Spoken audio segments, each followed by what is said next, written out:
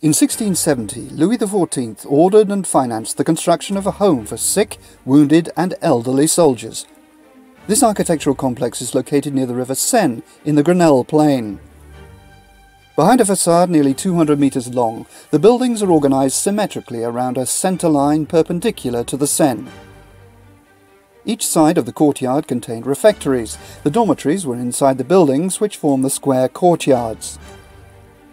At the time, there was also a convent, a workshop manufacturing uniforms, and even a printing press. It could house 1,500 residents.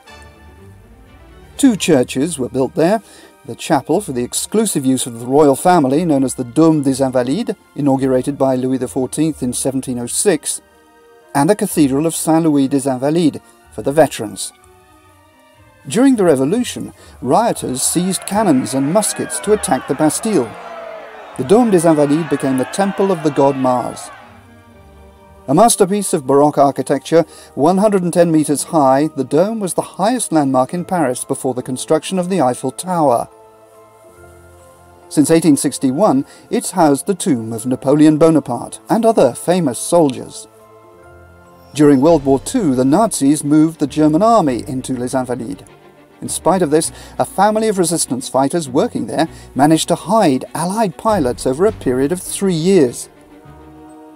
Today, the complex is home to three museums the Army Museum, the Order of Liberation Museum, and the Museum of Relief Maps.